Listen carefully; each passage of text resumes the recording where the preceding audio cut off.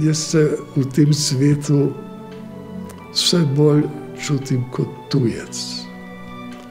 Ravno zaradi tega, ker se vrednote, ki sicer obstojajo v družbeni praksi, ne spoštujejo, in ko smo vse bolj in bolj žrtev tega potrošništva, oziroma eh, posledic eh, te neoliberalistične politike, in tako naprej.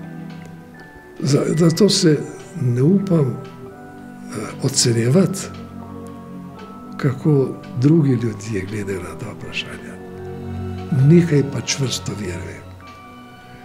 Če človeštvo ne bo našlo in če ne bo imelo moči, da se vzdigne iz tega stanja, v katero nas eh, sedanja miselnost postavlja, potem je neizogibna katastrofa. Mladost je seveda najlepši čas življenja in tudi moja mladost je bila zares lepa.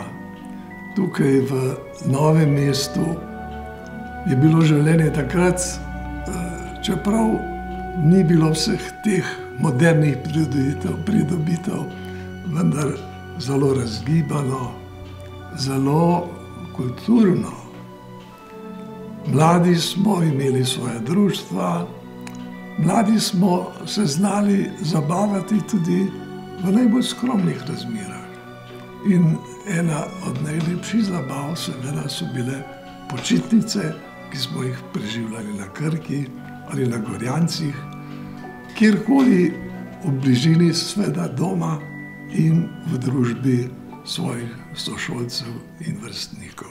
Jaz sem si potem že kar želel uh, v Partizane, ker je mi to ilegalno delo že postajalo nekako preveč uh, nevarno. Uh, in uh, ko sem nekega dne zvedel, da so po noči Italijani pozaprli nekaj mojih teh najtesnejših sodelavcev iz narodne zaščite, sem vedel, da je prišel trenutek, ko moram zginiti z mesta.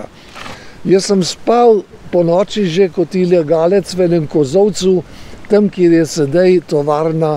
V Žabi vasi. V Žabi vasi, kjer je eh, tovarna avtomobilov, nasproti Torkareve hiše. Pritekel sem hitro domov, In takrat sem rekel, mama, grem. Teden dni zatem so uvedli propustnice, takrat je bil še prehod. Žica je bila že okrog in krok in bunker je okrog mesta, ampak prehod je bil še zmeren prost. Ja, novo mesto je bilo že obdano žico. In se spomnim, ne, da seveda pa si šel čist brez druge opreme, ker si že prej predal tisti nahrbtnik košakov in da so ti ga odpeljali. Takrat je bila že, je divjala roška ofenziva. In Bibler, ki je bil zunaj roške ofenzive, je prevzel vodenje vojaškega in civilnega razvoja. On me je poklical, da sem prišel tja na razgovor o tem, ker se je pričakovalo, da bo ofenziva šla naprej. Kako se pripraviti na ofenzivo v drugih predeljih. In on je rekel, med drugim pravi, Škodljivo je bilo tudi to, da mi na osvobojenem ozemlju nismo povedali, da je ta naša oblast začasna, da mi nimamo moči, da bi zadržali oblast, da bodo prišle ofenzive, da bodo prišli italijani, da bi bili ljudje na to pripravljeni. Takrat so že po dogovoru s Hitlerjem je bil sklep, da je treba osvobodilna gibanja uničiti. In tekst tistega govori ofenziva, oziroma da je to akcija za razorožitev slovenskega naroda. In ko je prišel v Novo Meško okrožje, Boris Krager. In ko smo mu pripovedovali, kako so težke razmere, po, kako je pomembno pripričevanje ljudi, da kljub vsemu temu, da, da, da ti grozijo, da ti bodo moža ubili, da ti grozijo požig hiše in tako naprej, da ti kljub temu odprejo vrata, da tudi spremijo časopis, da so tudi pripravljeni kaj narediti. Je rekel, vi preveč delate kot apostoli. Pa vi ne smete biti apostoli, vi morate biti oblast. Marca leta 1953 je umrl Stalin. To je bil zelo prelomen dogodek za Sovjetsko zvezo. Ravno takrat sem bil na obisku v ambasadi v Bonu in ambasador Ivekovič mi je povedal, da ga je poklical na razgovor kancler Adenauer, ki je želel slišati meni, kako ocenjujemo, kaj se bo potem dogajalo. In zanimivo je bilo to, da je kancelar Adenauer izrazil zaskrbljenost zaradi Stalina smrti. Rekl je, kakršen koli je bil, ampak na Stalinovo besedo se je bilo mogoče zanesti. Ne vemo pa, kaj bodo njegovi nasledniki, mladi, morda v svojih ambicijah, vse storili in morda podozeli tudi kakšne neodgovorne poteze. Stalinovi nasledniki so se znašli v precepu.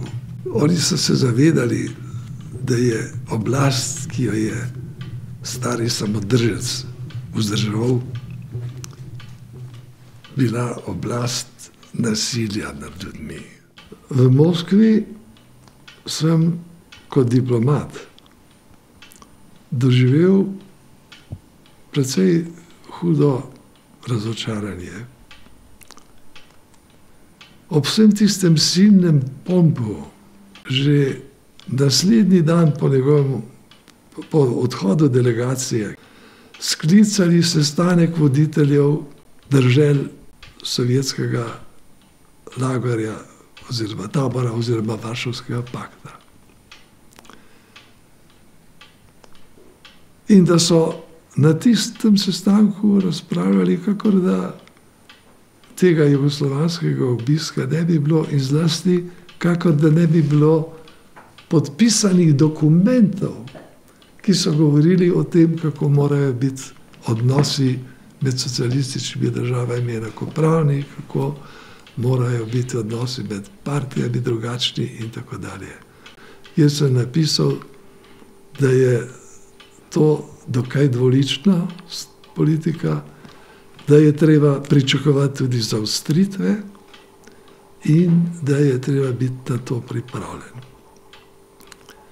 To so v Beogradu seveda vzeli nekateri kot popolnoma zgrešeno stvar, kot pesimizem, ki si ga en diplomat ne bi smel privoščiti. Ko sem prišel v Ljubljano, mi je tukaj nek visok funkcionar takoj vprašal, kako si ti moral tako zapraviti svojo diplomatsko kariero, da si šel proti Titu in Kardelju in vsem, ki so prinesli tako dobre vtise iz Sovjetske zveze. Jaz sem rekel, jaz sem povedal to, kar čutim, kar verjamem, pa se bo že videlo. Čez mesec dni so prišli dogodki na Mačarskem, je prišla ruska intervencija, so Rusi rekli, vse to, kar se dogaja v socialističnih državah, slabega, prihaja po jugoslovanskem vzoru in tako naprej. Jaz sem pa takrat sklenil, da zapustim politiko, čeprav sem bil že tako dolgo v njej. In ko sem se vrnil v Beograd, sem prebral v časopisu natečaj za ravnatelja Inštituta za zgodovino delovskega gibanja v Ljubljani.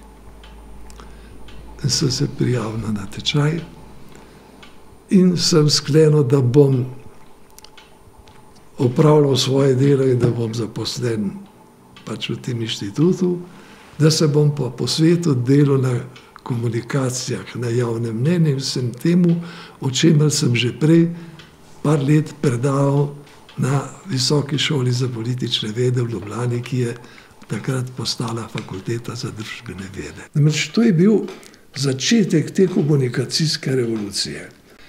Prav te priprave za zakon in debate so me nekako napeljale, da sem začel o teh stvarih ne samo razmišljati, ampak tudi pisati in predavati. Many voices, one world. Tukaj so obravnavi vsa vprašanja, ki se pojavljajo še danes v delu na komunikacijah. Jaz sem k temu delu prispeval dva prispevka dve, dve publikaciji manjšega obsega. Ena je govorila o pomenu nove mednarodne komunikacijske, pomenu in vsebini nove mednarodne komunikacijske, komunikacijske ureditve, druga pa o profesionalni etiki v komuniciranju.